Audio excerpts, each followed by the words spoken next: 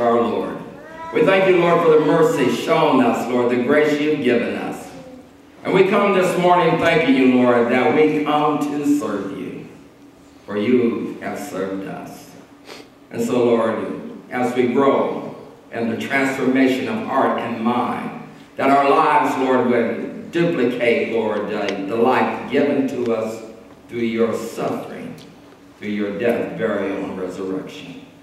May we take hold of this great salvation you have given us, that we truly might be lights in this day in which we live. Help us. Help us in our weakness that we might become strong in you. Teach us, Lord, your ways. In Jesus' name we pray. Amen. Amen. You may be seated. This morning I would like to talk to you and continue with our theme this year. The thing that says it takes a renewed mind for Christian living. And that this is the thing that we will reign out the rest of our life here. Because as children of God, we are to be transformed by the renewing of our minds that we might prove what the good, acceptable, perfect will of God is for our lives. And so this morning, as we're looking at the word in Romans 6, I want to look at this thought. Living right from the heart. Living right from the heart. The Bible tells us that out of the heart the mouth speaks. But if you have a right heart, you're going to live right. You're going to speak right. You're going to do right. With a right heart. Now, all of us know what a, wrong heart looks like. Hmm. If you're not sure what a wrong heart looks like, turn to your left, turn to your right. Now, don't, don't think that you're judging, because they're looking right back at you too. Because all of us have experienced what it is to live wrong. Amen. All of us. Okay, all right. I saw some looks up there like,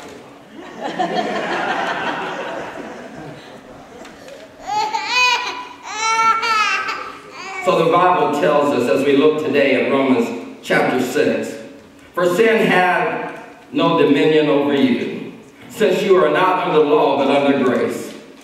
That the Word of God has been clear to us that we as children of God need to know that we're not living the law. We're not living the Ten Commandments. And Jesus said that the only commandment we need to know is love the Lord God with all of our heart, our mind, and our strength, and the others like that. Love your neighbor as yourself. That if we would operate in the love of God, we will do right with one another. We'll do right as children of God. We will do right as brothers and sisters in Christ Jesus. We don't have to say that I'm going to not lie, steal, kill. I'm not going to destroy. I'm not going to do this, don't do that. The Word of God just says it simple. Love the Lord God with everything you got. Put Him first in everything. You're going to be all right. Amen. All right. Doesn't matter what we put there, out there and say, you know, this is what I'm struggling with. Then the question would come down to us, how you living? What's in your heart? How you doing? I have found that over the years when people don't know you, they may say all manner of things to you. May talk to you like you're one of the boys, one of the girls. And then if they find out that you're in ministry, all of a sudden you can see them struggling their mouths would open and they were going to say the normal thing they would say to me at Caterpillar. But now that they've heard, they go, and they're searching for a word to say. Now I'm going to tell you, there ain't no word that they said that I had not said myself. I'm not shocked by it.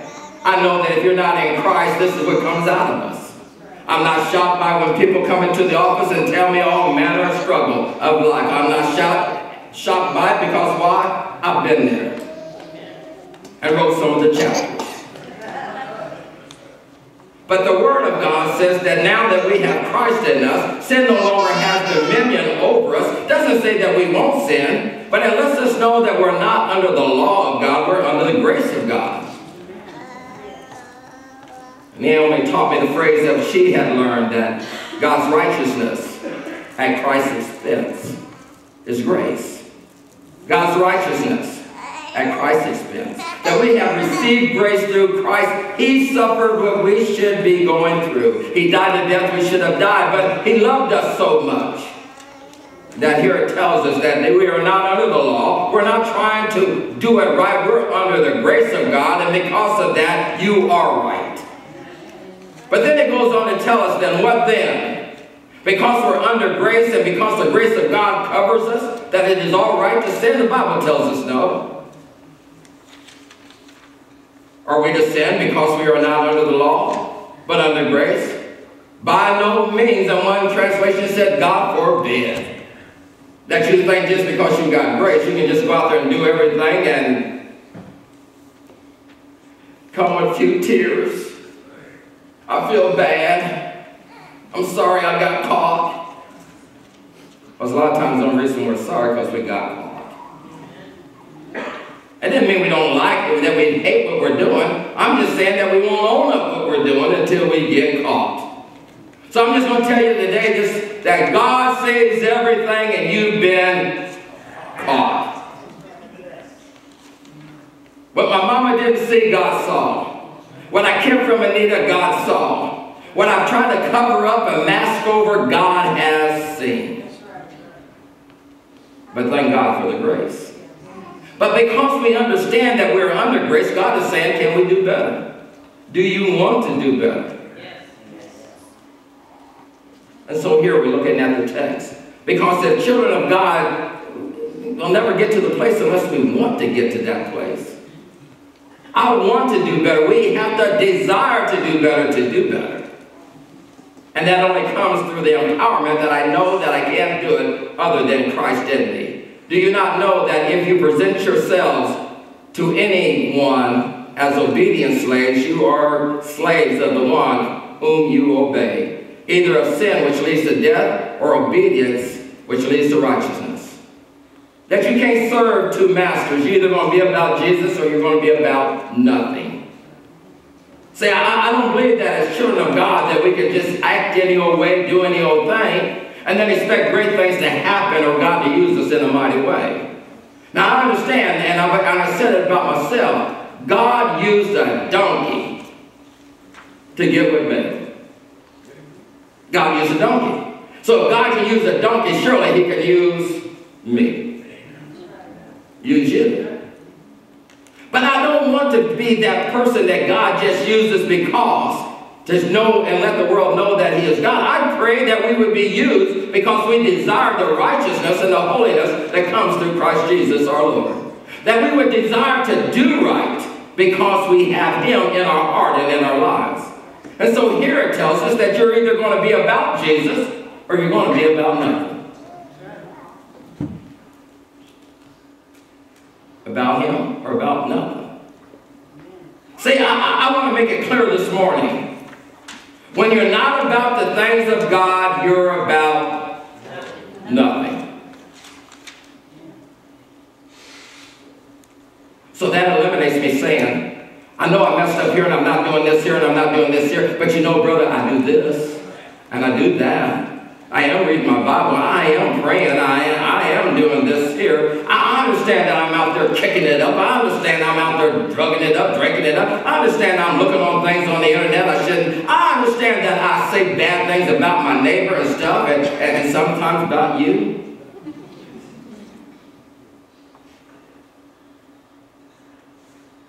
But surely God knows that I did these three things that were good. I, I, I do a Bible study on Wednesday nights, and I, am here practically every Sunday. And, and, in fact, you can find me at church just about every day of the week and stuff. Uh, uh, you know, I, I try to help with the food pantry and help people move. You know, I, I, I do all of those things there. And the Lord says, I don't care. Because if I don't have you, you don't have nothing. That's what he's talking about. He's saying, I got to have you. I don't care about your stuff. I don't care about what you do.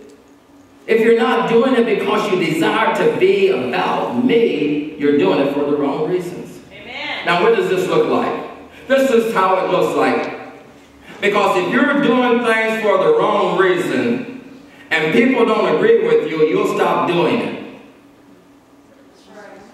God put it on my heart to do this thing here, but you know, I'm not getting no help, Pastor, so I'm not coming back. Well, either God put it on your heart to do it, or God didn't put it on your heart to do it. God said, but I'm not going to do it now because why? They really ticked me off not too long ago. We're either about the things of God or we're not about it. And that's what here the, the scriptures are telling us today that we're going to be about the righteousness of God, that, that obedience to righteousness, or we're going to be about the things that lead to death. But thanks be to God that you are, were once slaves of sin, but have become obedient from the heart to the standard, to the teaching of which you were committed.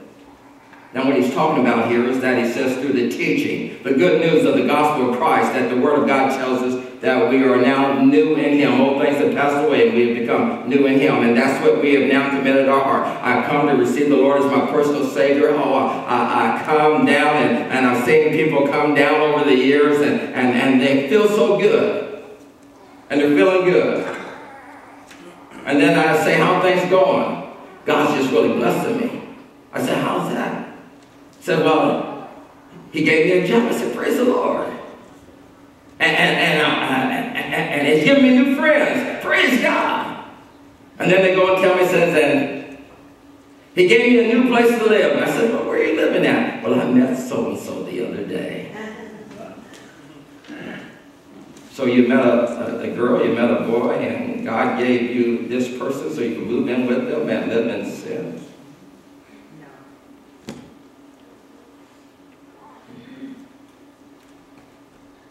Paul says that we're committed to the teaching. And the teaching of God is that now that we're in Christ Jesus, our desire is that we want to live for the Lord. Now, it doesn't mean that we know how to do it, but it says that the desire within us should be that we want to live for God and to glorify Him in everything that we do and say. Now, I know what some of you are thinking this morning. Pastor, if you preach a message like this, then you're going to know that you're going to drive people away. But here Paul is telling us through the scriptures is that this is what draws people to God. Because when I begin to understand that God wants me to have his best for my life, then I begin to decide what is good for me in Christ or what is good for me in sin. Because that's what it boils down to. And that's what he's saying to us about when we desire the good things of God, when we're desiring a new life in Christ, we need to be real with it and understand it's either going to be about the glory of God or it's going to be about the selfishness of my flesh. And I'm going to tell you, the Bible says that there dwells no good thing in me. That I look in the mirror and I say, God, there is some good thing about me. And the Lord said, there's no good thing in you. Lord, but I, he said, if there's anything good in you, it has come from me because there dwells no good thing in you. And when I begin to understand that, and I hope you get it this morning, that when we begin to embrace the fact that dwells nothing in me that is good except God, and I desire good to come out of me, then what is the catalyst then for my goodness? Christ. Christ. But if I understand that, then it just makes it just as much sense that if I'm going to get in my automobile and drive, I'm going to have to continue to put gas in it. I'll never accomplish and get to the place where I want to go without stopping to fill up. And gas is for going. So you don't fill up and then park the car and never use it. So you can always talk about, I got a tank full of gas.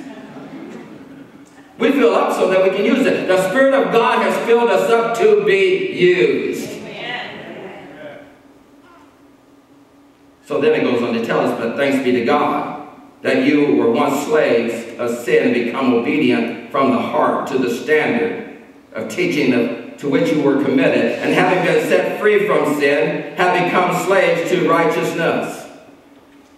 So then the Bible's telling us that I'm either going to serve God or I'm going to serve me. I'm not even going to say the devil. Because a lot of things I'm doing, the devil ain't had nothing to do with it. I've made all of the wrong choices. Not just five years ago, not, not just four years ago, not just three, not two years ago, not just last year, some of the homies passed away. I should probably say amen. Amen. amen. amen. I come short. But he says there ought to be a desire in me to be committed to the righteousness of God. And that I would learn during the times of my misbehavior that in Christ I would desire to do good and so what happens is that the Bible says there has to be a heart change within me. Because if my heart don't change to the things of God, then no matter how I try to go, the old me will always be present, having its way. So I'm set free to become a slave to righteousness. Then Paul says, I'm not talking about human terms because you were uh, natural limitations. For just as you once presented your members as slaves to impurity and to lawlessness, leading to more lawlessness, I like the fact that he puts that there. There is no such thing as we only do a little bit of sin. Sin is never satisfied with just a little bit. At least I've never been able to say, this is all the sin I'm going to do. because if I do this sin in this area and I like it, guess what I'm going to do? I'm going to do a little more sin. Now I'm going to do a little more sin because why? We are junkies to sin. And this flesh is never satisfied with just a little. And so the Bible tells me then that I have to recognize that this is how I was apart from Christ, and I had these natural limitations to try to do right because when I was doing even this little bit of sin, oh, I, am going to tell you, I've never been just a little bit sinner. I'm a champion sinner. I do everything whole If I'm out there, I was out there. But now that I'm a child of God, I'm trying to be whole hog about Jesus. Amen. That I want him to be my everything. And so here the word is telling us that one time I was like that. I had natural limitations. For once I was a slave to impurity and lawlessness, which led to more lawlessness. So now present your members as slaves to righteousness, leading to being set apart in Christ Jesus. That the righteous living will cause me to be set apart, that my life will be about one thing, Jesus Christ. Do you desire within your members to say, Lord, I just want to be about you? Then he says, if you desire them to be about me, then you have to put me number one in your life. And if I'm number one in your life, you will find yourself being set apart for the things that I desire. But that has to come then out of my heart through a renewed mind. Because I, I, I, I've had wish lists. I've had the things that I want to do. I, I, have tried to journal, you, you know, and, and, write things down. I want to do this and this and this. I, I have my list. And then after a while, I just take the list and I just throw it away. Because it gets hard. And so the Bible's telling us is that you just can't live out the list. There has to be a transformation in your heart, which leads to a transformation of your mind. Last week when we looked at the scriptures from uh, a couple weeks ago, that came out of Colossians, that we looked at verse 7 of Colossians 3. And this you too once walked, when you were living in them. And what he was talking about was that in verse 5, put to death therefore what is earthly in you, sexual immorality, impurity, passions, evil desires, covetousness, which is idolatry. And on account of these, the wrath of God is coming. And so verse 7 said, Then in this you too once walked, when you were living in them, but now you must put them all away. Anger, wrath, malice, slander, obscene talk with your mouth. Do not lie to one another, seeing that you have put off the old self with its practices, and have put on the new self, which is being renewed in knowledge and after the image of Christ. That the renewing in Christ Jesus has to be that we have to grow in the understanding of who we are. And that's why it's so important that we have a transformed heart and mind. Because if I don't allow my heart and my mind to be transformed in the teachings of the Word of God, I will continue to live out in things I know. And the Bible just said to us is that the things I know dwell to nothing good. To nothing good. Now I'm not, under, I understand that no matter how hard we try, there's going to be times that my flesh is going to get the best of me. But the more I strive after God, I'm going to tell you, the more we do this, we will have a quicker response to getting back to the place where we need to be. What used to take us weeks now only takes us a matter of moments. That our hearts are convicted and we begin to say, Lord, forgive me. And then we even want to come to that place of saying, forgive me. I'm sorry I said I did what I did because why? I know it doesn't bring God glory and, and I'm better than that because I have Christ in me. He says there's something has changed within us because we love the Lord our God. But as we're looking at Romans 6, I had to go back to Romans 5 to understand what Paul was talking about in, in this as he was talking to the, the church there in Rome. Verse 5, he says, Therefore, since we have been justified by faith, and have place and have peace with God through our Lord Jesus Christ, through him we have also obtained access by faith into this grace in which we stand. We rejoice in hope of the glory of God, that he tells us that we have peace with God through faith. And if I want to have faith, then it says that faith then has a discipline or it begins to be displayed in the way that we live. I can't say that I have faith in God and then want to live like me. Because if I believe that I'm a new creation in Christ Jesus, then it's just automatic that my thought would be that I want to be better as a child of God. And if I desire them to be a, a better as a child of God, it says then I will begin to put on that new man. And then I would find then that the things I have with God will bring forth peace. Now see, it, it, tells us then that if you're a child of God and you're not walking the way God would have you to walk, you're in a place of no peace. Because we can't be satisfied when we know to do right and we choose not to do that. But then he goes on to tell us that this happened to us because of Adam's sin. Adam and Eve in the garden, Genesis. That tells us about how that man fell into disobedience and because of that, sin entered into man. And then we are born into this, and so therefore, just as sin came into the world through one man and death through sin, and so death spreads to all men because all sin. For sin indeed was in the world before the law was given, but sin is not counted where there is no law. Now what it's saying is when you're ignorant to something, you might be able to get away with it. But once mom and daddy told you this is wrong and you did it, you got behind with it. So when you didn't understand, God said, I understand. You don't understand. You don't know. I can drive through that intersection all the time because why? There's no stop sign. I'm not breaking no law. I can just go through that line, don't have to even look, I just go. But one day they put a stop sign up. But I say, you know, I've always done it this way.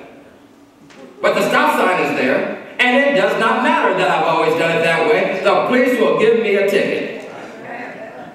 But I say it ain't fair. As long as I remember I've done it this way. They said, did you not see the stop sign? I said, yeah. But I've always drove through the intersection. They said, well, now I'm going to tell you every time you drive through this intersection, we'll be there and we'll give you a ticket. Now, I don't know about you, but after you have enough $125 tickets, I bet when you get to that stop sign, you will. So then, why would I continue then in sin when God has said stop? What's it going to take for my life to come to a place in my life to understand I can't continue to go like this because while I'm paying a price I don't want to pay, dealing with something that God doesn't mean for me to have to deal with because why? I'm a new creation in Christ Jesus. I can stop doing this because why? He has given me the ability to understand that when he says don't do it, it is for my own good. God is never holding back anything good from us. He's just wanting us to know that when He's in the midst of the things that He has called us to do, it will be so much better for me.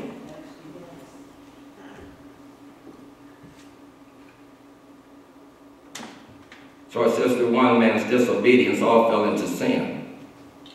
And it says now, man was sinning before there was a law. He didn't understand. But you know, he was still reaping the pain of sin. When Cain killed Abel, I bet it tore mom and daddy's heart apart. There was no commandment that said, Thou shalt not kill. But the act of sin still did what the act of sin did. It tears, it robs, it destroys. They already knew it was wrong because why? Nothing could be good and you feel this way. Nothing could be good and, and you have your son laid out here dead. Nothing could be good of that. And so Cain knew he done wrong. Cain knew that he had messed up. There was no law that said, Cain, you did wrong. Because, see, God had deposited something in us that will continue to woo and draw man to Him. And when you're a child of God, I don't have to tell you that what you're doing is wrong, how you acting is wrong. You don't have to tell me, I know. So I'm not going to spend all my time telling you about what sinners do. We already know about this. This is about what the righteous do in Christ Jesus. It says also because of Christ. Now the law came to increase the trespass. But where sin increased, grace abound all the more. So that as sin reigneth in death, grace also reigns through righteousness, leading to eternal life through Jesus Christ our Lord. That is telling us that even though there's sin in the world, there's the grace of God that is greater. There will never be a law that man will ever put into place that will ever stop man from sinning. There is no such thing. There is no law that will bring about righteous living. But the grace of God will cause an evil heart to want to live righteous. And through one man, Jesus says that I'm able to change man's life, that he will do better in the things that he desires to do. And so, what should we say then? Are we to continue in sin because grace abounds? By no means. Scripture is clear. Because we have God in our life, that we ought to do better. Because Christ has paid it all. How can we who died to sin still live in it? Do you not know that all of us who have been baptized into Christ Jesus were baptized into his death? We were buried, therefore, with him by baptism into death, in order that just as Christ has, was raised from the dead by the glory of the Father, we too might walk in the newness of life. Scripture is telling us because of the finished work of Jesus Christ, heaven is our home. And because we have Christ, he says, I will demonstrate my love to you and you will be able to walk victorious in me when you understand I have broke the chain of sin that has held you back, that you can run free. Sin is nothing that allows you, we sometimes think that with sin that I can just go and do whatever I want to do, but sin limits you to achieving all the things that God has called you to do. Sin will come against everything that you know in your heart that you desire to achieve. I've seen some big dogs on some big chains. And as hard as they would want to run, there was a limit on where they could go. They barked hard. They ran hard. They looked ferocious. But I didn't care how hard that dog ran to me as long as that chain stopped him here. I couldn't do what he wanted to do growl at me, all those things there. There's a limit on where you can go with sin. Sin will never allow you to become a great father, mother, brother, sister. Sin will never allow you to achieve greatness in the kingdom of God. Sin always binds, bind, binds us up. It keeps us from coming to the place that God has called us to. I desire all the riches of heaven, but as long as I'm in sin, I'll never achieve what God has in my in the plan of life for me, or the plan of life he has for you. And so without a transformation of my heart, and a transformation of my thoughts, my flesh will continue to keep me from achieving the goals that God has put in us. We're set free. We have the freedom to run after the things of God, which brings greatness to our hearts and to our lives. But I'll never understand that unless I understand that sin continues to hold me back. Sin keeps me tied up. It keeps me strangled up. It keeps me from achieving all that God has in store for me.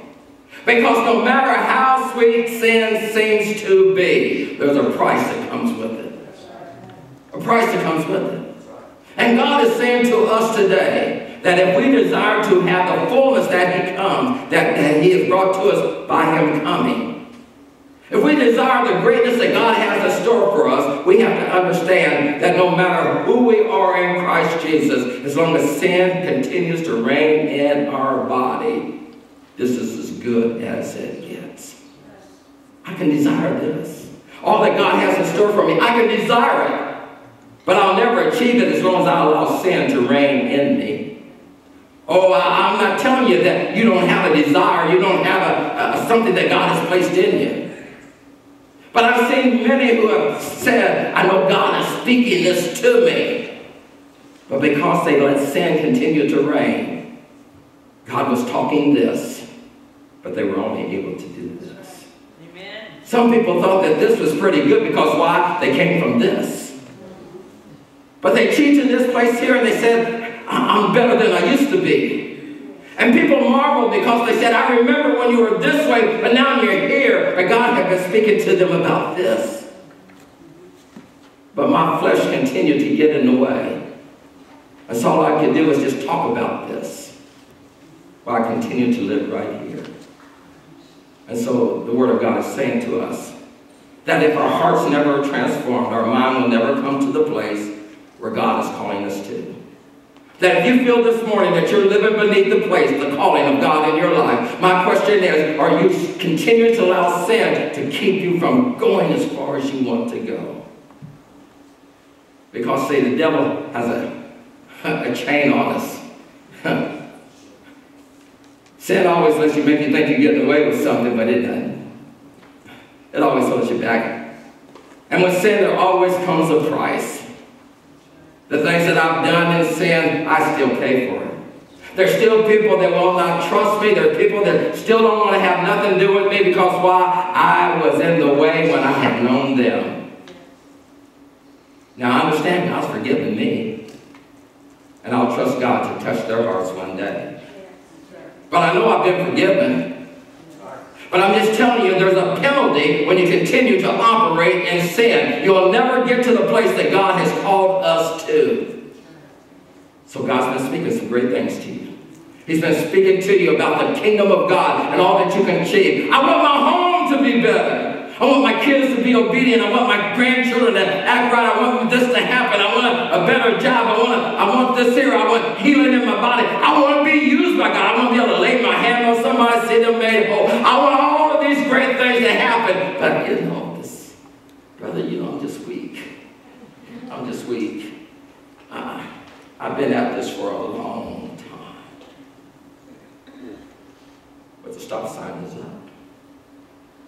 It don't matter how long I've been at it. If I want to achieve what God has called me to do, if you desire to achieve what God has called you to do, it don't matter how long you've been there, the Word of God says the stop sign is up. So what do you desire this morning? In Christ you can operate here, but He has called you to this. What do you want? Do you? The Word of God speaks into our heart. And as we put it into obedience, our thought process begins to change. We come to understand that the reason the stop sign is there is for my own good.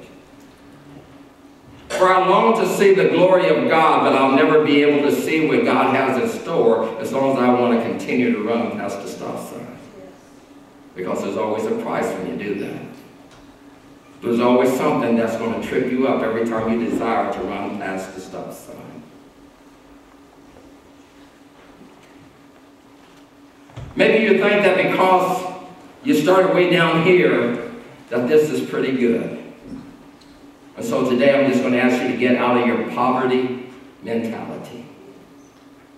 You serve a great God who says, put me to the test. He has great plans for your life.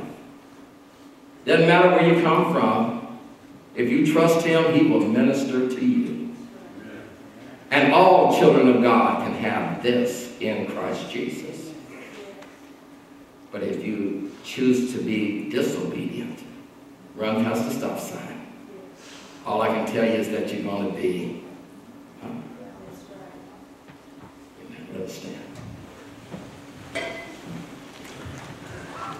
If you have never received Christ as your personal Savior, I'm going to ask that you would come forward this morning. If you're desiring to be a member of First Baptist Church, I'm going to ask that you would come forward this morning. If you're needing prayer this morning, I'll ask that you would come forward as we say.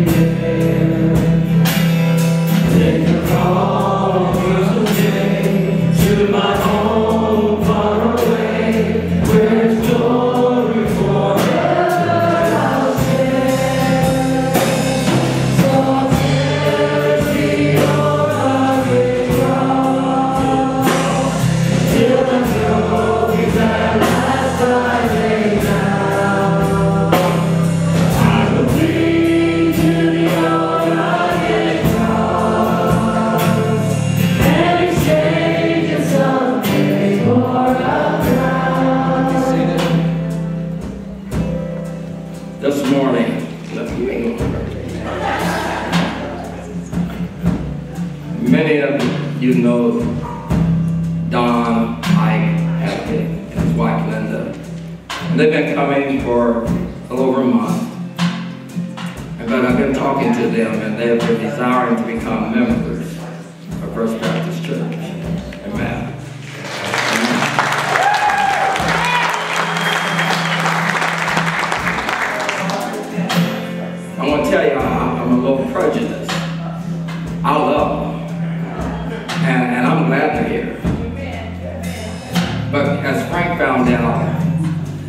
Come, you gotta go to work. You gotta go to work.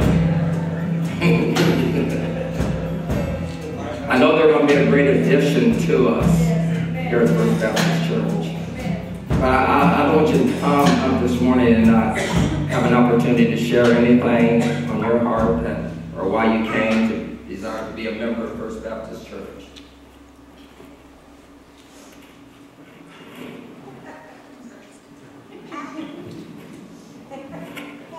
Well, we were, uh, we were married there. Eighty-four. I was a member for a while, and then we uh, moved down to Lewistown, and uh, sometimes you just gotta go home. He's right. This, um, when I started coming up here, the last sermons, I would say, that Pastor Bailey, um, speaking God's word, every one of them, I felt like it was directed right at me, right at me. And I told Ike, I said, I think, I think it's time. Uh, we found our home, Amen. and, you know, and we love you guys. Amen. We love you. Amen. Amen. Amen. Chris has been coming, and she desired this morning to become a member of First Baptist Church. I don't know. I here, I've been praying for a long time to find a place to go. I've been reached so much today, church reached me. I've been wanting Chris about me for a long time. And I need those prayers because my willpower is low, but with Jesus Christ, I know. And with today's service, I know I'm with. Because I want to be filled with Jesus. Amen. Amen. Big heart. Amen. And so, because you've been coming, and you desire to be a member of First Baptist Church. Exactly.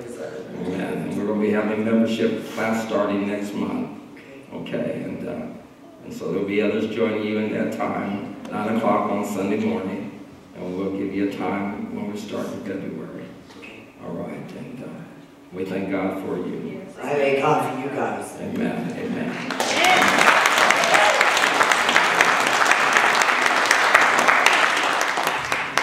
You are always Thank you so much.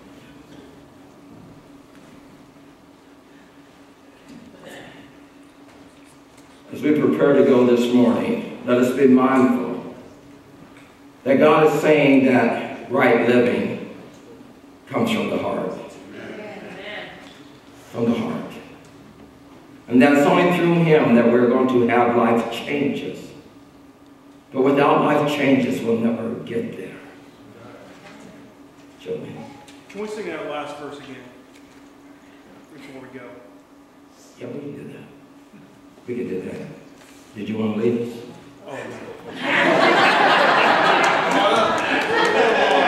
And I- I'll say thank you, Jesus. Let's stand to our feet. But I want us to know this morning that Christ is our answer. Amen. He is our strength. He's doing great things in the midst of the body. We thank God today for Christy, and we thank God for Ike and Linda. We thank God for the work that He's doing in us. But this is only the tip of the iceberg. Great things He's going to be doing with us.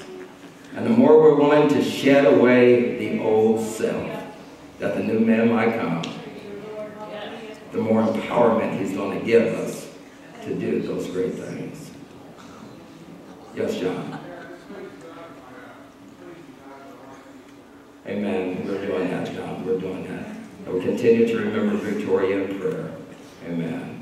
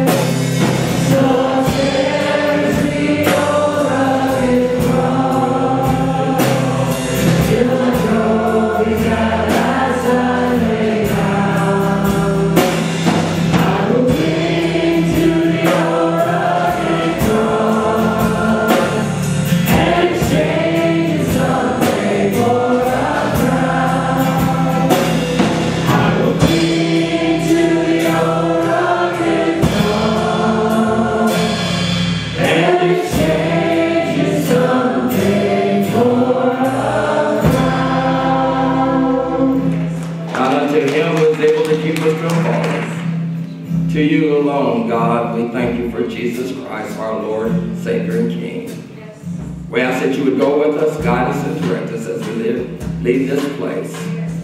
And so we thank you, Lord, for the work that you are doing. And we thank you today, dear Heavenly Father, that out of the heart, the mouth speaks.